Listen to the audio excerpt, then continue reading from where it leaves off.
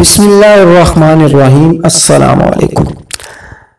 ناظرین، سائنس کا جنم کہاں ہوا، کب ہوا اور کس نے کیا؟ پہیا سائنس کی سب سے بڑی ایجاد اس کا معجد کون تھا؟ سب سے پہلے آگ کس نے جلائی تھی؟ ہند سے کس نے بنائے صفر، جمع، تفریق، ضرب اور تقسیم کی دریافت کس نے کی؟ ناظرین، تاریخ گاہ کا جنم سائنس کے بہت بعد ہوا۔ زبان بھی سائنس کے بعد پیدا ہوئی۔ لیکن سائنس کے بہترین دماغوں اور انسانیت کے بہترین موسم کے نام سے واقفیت عام نہیں۔ ناظرین آج ہم اس ویڈیو میں مغربی سائنس کا کے جنم داتا ارسطو کے بارے میں بات کریں گے۔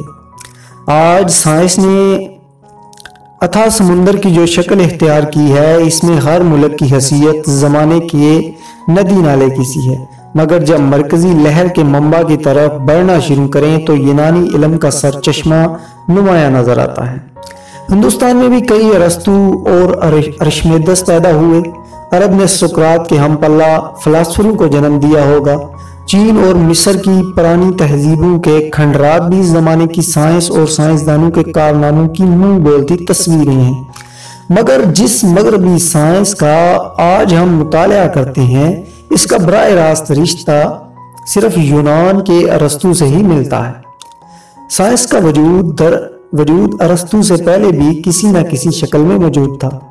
مگر اسے توہم پرستی اور مذہب سے الگ ایک باقاعدہ علم کا درجہ حاصل نہ تھا۔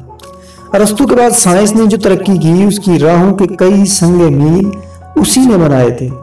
افلاطون کے شاگرد اور سکندر اعظم کے استاد کے طور پر ارستو اپنی زندگی میں ہی یونانی تہذیب کے وسیع دائرے میں ممتاز ترین عالم شمار ہوتا تھا۔ اس کی پیدائش حضرت عیسیٰ علیہ السلام سے تین سو چوراسی سال پہلے مقدونیا کے ایک شہر میں ہوئی۔ اٹھارہ سال کی عمر میں اس نے ایتھنز میں افلاطون کی شاگردی قبول کی۔ یونانی فلاسفر شاگرد کی ذہانت سے اتنا متاثر ہوا کہ اس نے اسے ذہانت کا مجسمہ قرار دیا۔ نوجوان طالب علم نے اپنی ساری ہوائی دولت اپنے وقت کا سب سے بڑا مکتب خانہ بنانے میں خرچ کر دی۔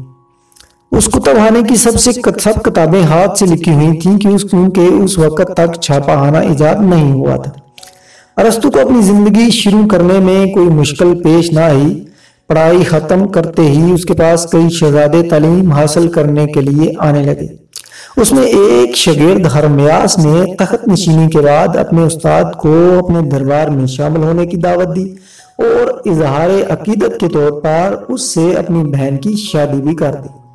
ارستو کی شہرت تھوڑی ہی مدت میں اتنی پھیل گئی کہ اس زمانے کا سب سے بڑا بادشاہ فلپ، جب تین سو چوالیس قبل مسیح میں اپنے بیٹے اور مستقبل کے سب سے بڑے فاتح سکندر کے لیے دنیا کے سب سے بڑے معلم کی تلاش میں تھا تو اس کی نگاہ انتہاب ارستو پر ہی پڑی۔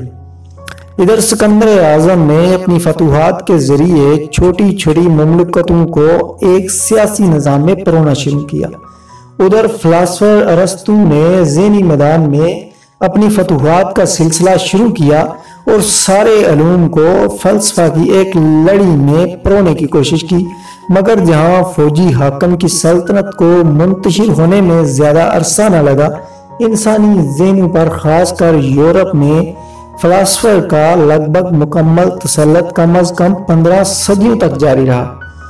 ارستو کی تعلیمات کا اثر پندرہویں صدی میں ایک نئے ذہنی انقلاب کی صورت میں ایک بار پھر نمودار ہوا، جب قسطنطنیہ پر ترکی کے قبضہ کی وجہ سے یونانی عالم ارستو کی تحریرات سمیت یورپ بھاگنے پر مجبور ہوئے۔ ان کے مطالعہ سے یورپ میں جو نئی تحریک جاری ہوئی، اسے خیائے علوم کا نام دیا گیا، جس کا براہ راست نتیجہ موجودہ سائنس اور ادب ہے۔ یقیناً کسی ایک دماغ نے انسانی ذہن پر اتنے لمبے عرصہ کے لیے کبھی حکومت نہیں کی۔ رستو نے ترپن سال کی عمر میں اپنا سکول شروع کیا، جس کے قواعد طلبہ خود بناتے تھے۔ ہر دس ہر دس دن کے بعد وہ اپنے نگراں کا چناؤ کرتے تھے۔ اس سکول میں سائنس کے دیگر مضامین کے علاوہ نباتات اور حیوانات کے مطالعہ کے خاص انتظامات تھے۔ کہا جاتا ہے کہ ایشیا اور یونان میں تقریباً ایک ہزار آدمی نباتات اور حیوانات کے نمونے جمع کرنے پر معمور تھے۔ رستو کے کہنے پر ہی سکندر نے دریائے نیل کے سلابوں کی وجوہ کی کھوج کرنے کے لیے ایک مہم بھیجی تھی۔ سائنسی تحقیق کے لیے اس سے پہلے اس پیمانہ پر انسانی اور مادی ذرائع کا کبھی استعمال نہیں ہوا۔ ارستو سینکڑوں کتابوں کا مصنف تھا۔ ایک اندازے کے مطابق ان کی تعداد چار سو اور دوسرے اندازے کے مطابق ایک ہزار ہے۔ یہ سب کتابیں سائنس پر ہیں۔ اس نے ادب اور فلسفہ کے بیشتر مضامین پر بھی اپنا قلم چلایا تھا۔ ارستو نے کوئی نمایاں سائنسی ایجاد نہیں کی اور نہ ہی سائنس کے کوئی دیر پا قوانین پیش کیے۔ یونان میں غلاموں کی سستی مزدوری دستیاب ہونے کی وجہ سے سائنسدانوں کو نئی مشینیں ایجاد کرنے کی ضرورت ہی محسوس نہیں ہوتی تھی۔ اس کے علاوہ تجربہ کے لیے اعلیٰ جات کی عدم موجودگی میں سائنس کے جو قوانین ارستو نے پیش کیے، وہ سب کے سب بعد کے تجربات اور تحقیقات کی روشنی میں کھرے ثابت نہیں ہوئے۔ مگر سائنس کی محض مشینوں کی مگر سائنس محض مشینوں کی ایجاد کا نام نہیں، بلکہ سائنس سوچنے کا ایک طریقہ بھی ہے۔ اس لحاظ سے ارستو کے عظیم سائنس دا ہونے میں کوئی شک نہیں رہتا، کیونکہ رستو نے منطق کی جس سائنس کو جنم دیا، اس نے آنے والی نسلوں کے لیے سوچنے کے ضابطے اور ذہنی ڈسپلن کا ایک معیار پیش کیا۔ موجودہ سائنس کی بیشتر اصطلاحات وضع کرنے میں بھی اس کا سب سے بڑا ہاتھ ہے۔ اس کے علاوہ سائنس کی میدان میں باقاعدہ مشاہدہ اور تجربہ کا رواج بھی ارستو نہیں ڈالا۔